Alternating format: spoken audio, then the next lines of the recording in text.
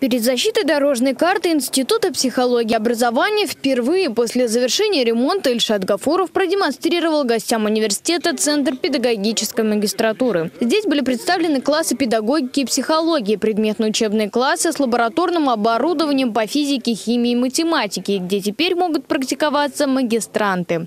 По словам ректора Казанского федерального Ильшата Гафурова, для них закуплено все, чем пользуются учителя со всех концов России. Так, например, химики из любой школы страны смогут увидеть здесь знакомый лабораторный стол и, вернувшись с курсов повышения квалификации, уже на своем рабочем месте смогут донести те знания, которые были получены в Казанском федеральном. Приятно показать коллегам, директорскому корпусу нашего университета все, что здесь сделано.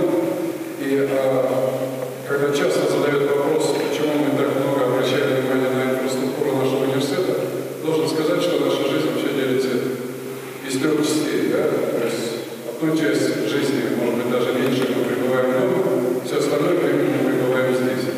В статус федерального у вуза появилась возможность воплощать в жизнь различные системы подготовки. В Казанском федеральном параллельно реализуются две системы подготовки учителей. Классическая система реализуется в Елабужском институте КФУ, а распределенная воплощается в жизнь силами Института психологии и образования. КФУ уже принял участие в 20 международных сопоставительных исследованиях в области образования с ведущими университетами мира. Сейчас же цель стоит на повышении публикационной активности, показатель цитирования в международных изданиях. Анастасия Иванова, Ленардо Влетьяров, Универньюз.